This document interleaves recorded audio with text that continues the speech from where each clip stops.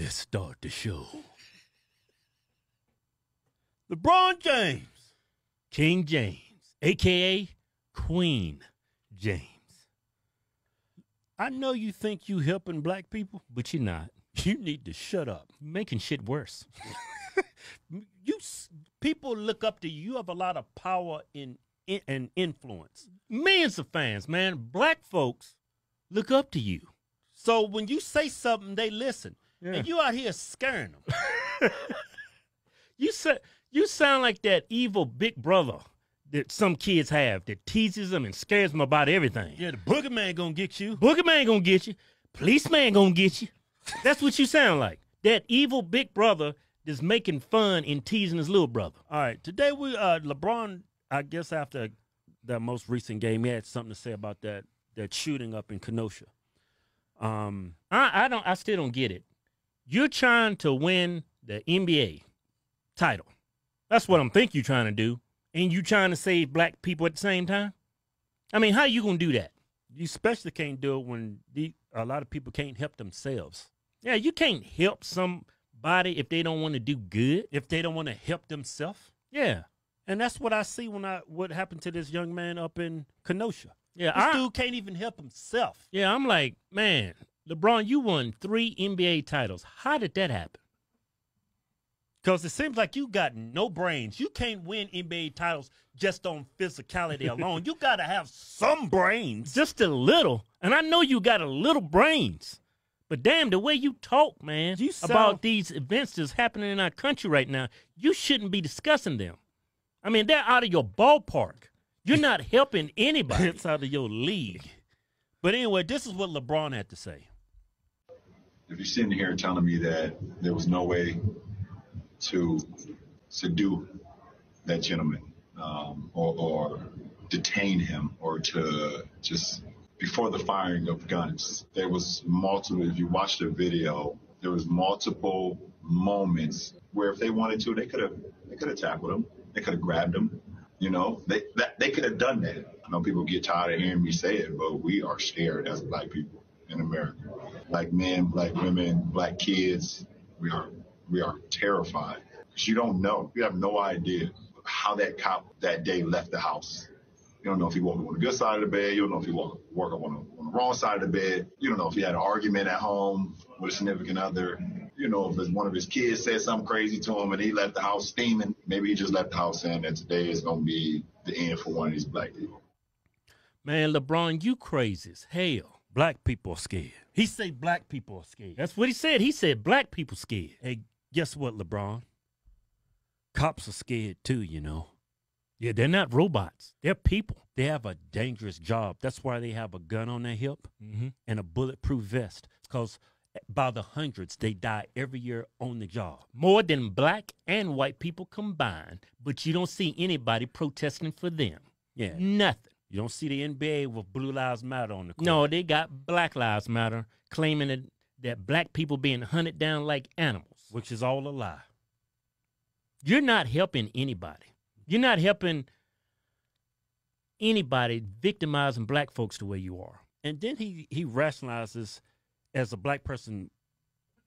I'm black. I ain't scared. I see a cop. I'm happy as hell. Like, Yeah. yeah, Yeah, they we doing cops around here. Yeah, they doing their job. I feel so safe. right. Look how they looking over here at me. they making sure I'm on the up and up. These people are on the job. Yeah, but then you you rationalize like scaring black people. Like you scaring them about what cops, how that that that, that mindset. Did this cop wake up on the wrong side of the bed this morning? Is he gonna take it out on some black kid somewhere? LeBron, that's irrational and it's stupid. I can say that for anybody. I can say that for black folks. That's like me getting up and say, man, I wonder how these black folks gonna get out of bed today. Man, I'm scared. I mean, Don't make no sense. We're not saying there's not bad cops out there. They're bad cops, but you're making an argument based on a hypothetical. That's not very smart.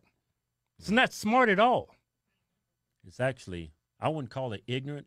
I would say it's just dumb. Yeah, some people would even say it's low IQ. but I know you don't have low IQ, LeBron. You won three NBA titles. Somebody's got to be making you say this stuff. yeah. You okay? He he also goes on to say the cops it shouldn't even got this far. They should have took him to the ground and, and and arrested him.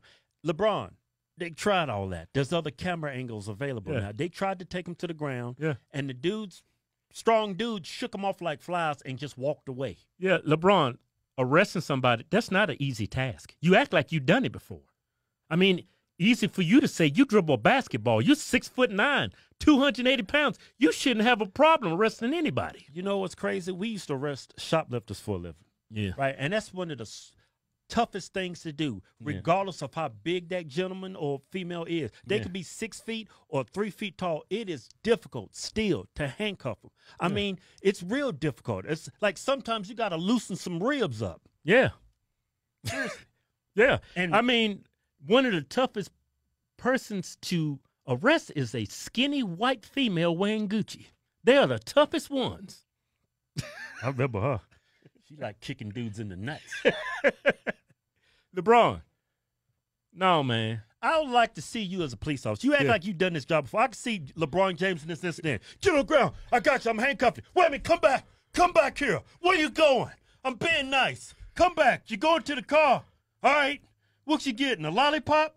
Oh, proof of insurance. Okay. All right. You got it? Right. See, LeBron, look. Trying to be nice, got him shot. He's dead. He's never going to see his family again. You act like these cops are psychics. They know exactly who they're dealing with.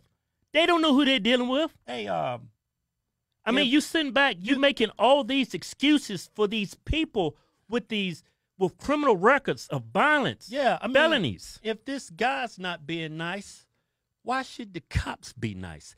The cops didn't go up to this dude and say, "Look, there's a black guy. Let's take him to jail Yeah. because he's black." Yeah, This dude had outstanding warrants. I mean, felonies. One of them was for uh, rape, yeah, of, sexual assault. of a minor.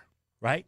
He also had priors for involving guns. So they know who they dealing with. This is a dangerous individual individual and you want them to play nice. Tackle them. In what world does that work? This dude is taking advantage of every situation. They Yeah. wasn't being nice when he took him down to the ground. They Yeah. should have loosened them damn ribs up. They didn't loosen his ribs up. He got up, he walks off. Now he's going to the car. Okay, let's be nice. Hey man, come on, man. Come back here. Yeah. I mean, come on. Yeah. That life is at risk now. This dude is this dude is not following commands. So why is he going to the car? Is he just jumping the car to take off? Or is he going to the car Think about it, LeBron. For This guy is a violent individual. He's proven that. His past is proven that. He jumps in the car, takes off with his kids. Is his kid safe now? Yeah, and you refer to this guy as a gentleman. And now you see everybody in the media holding this guy up, holding his kids. That man didn't give a shit about his kids when he jumped in that car. Personally, if I I wouldn't get into an altercation with cops, Yeah. I got my five, six kids in the car, and I try to jump in the car with them. Yeah. What kind of father am I to do something like that? Put Yeah. my kid's life in danger. Yeah. Everybody knows, cop got his gun out. Cops will shoot you. Yeah. If that life is at risk or they feel that life is at risk, they will shoot you. Everybody knows that. Yeah. His girlfriend is screaming at him. Everybody's screaming His at this mama dude is screaming this. Everybody's screaming at this dude just to stop and follow the commands.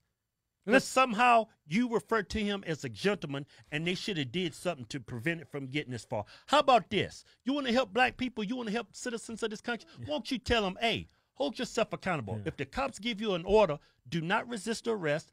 Follow their commands. Take your ass to jail. You will have your day in court. What's wrong with that? That's how you. That's how. That's what advice you give. That's what advice I gave my son. Because I'm not saying LeBron, uh, Black lives don't matter. They do, but blue lives matter too. They have families. They have wives. They have kids. Everybody's life matter, LeBron. So people need to start acting like it. People need to hold themselves accountable. Not just the cops, black folks too, white folks. You know Everybody needs to hold You know themselves accountable. If this dude would hold himself uh, at the level that y'all trying to hold cops to, Yeah. you wouldn't even need cops. Yeah. We could get rid of them. You could defund the police, make them all social workers. Yeah. Go to officialhodgetwins.com and pick you out a patriotic t-shirt today. Hell, I'm even giving you 20% off. Just type in discount code Chinese virus. We call it Chinese because it's from China. We making t-shirts great again.